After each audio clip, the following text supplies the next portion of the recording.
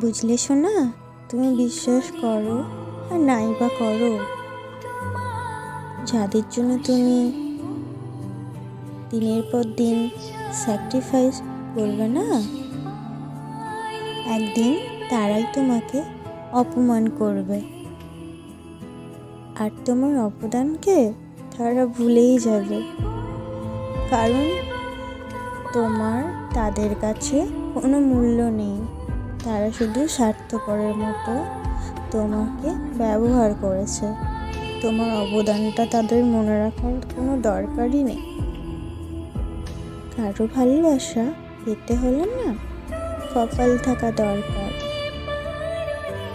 আর তুমি তো কপাল পোড়া। জানো না পোড়া কপালে কি ভালোবাসা যেতে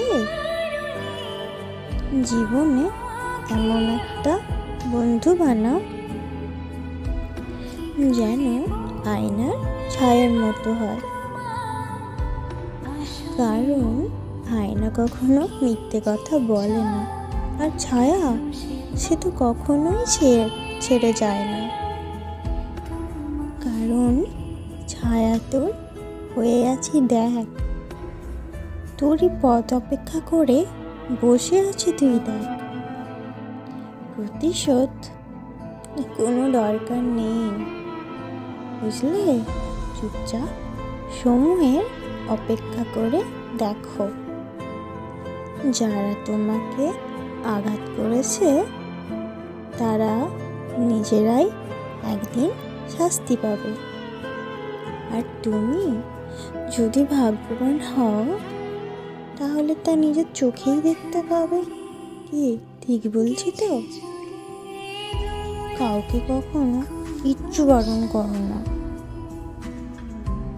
কারণ সে তোমার কথা শুনবে না।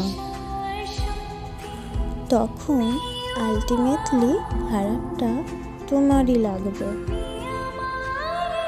তার কাছে যদি তোমার গুরুত্ব বা কথার কোনো দাম থাকে, তাহলে সে তোমার অপছন্দের কাজগুলো নিজে থেকেই করা বন্ধ করে দেবে।